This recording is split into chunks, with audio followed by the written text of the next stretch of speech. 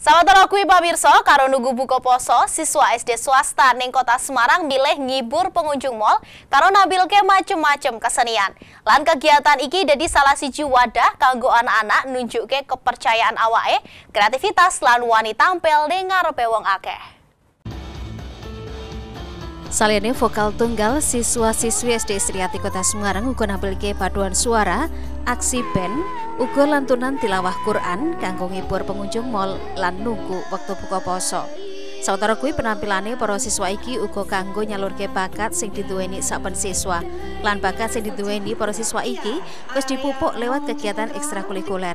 Saben siswa duwe bakat lan kemampuan beda-beda. Ora mung kuwi, komunitas rebana lan biola uga melu unjuk bakat kanggo ngibur pengunjung mall karo nunggu waktu buka poso.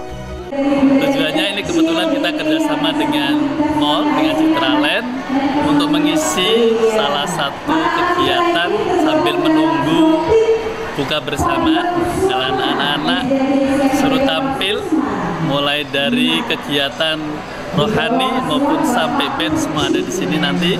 Ada uh, mulai dari tilawah tadi sudah kemudian nanti dilanjutkan paduan suara kemudian tari kemudian band nanti bahkan ada atraksi karate.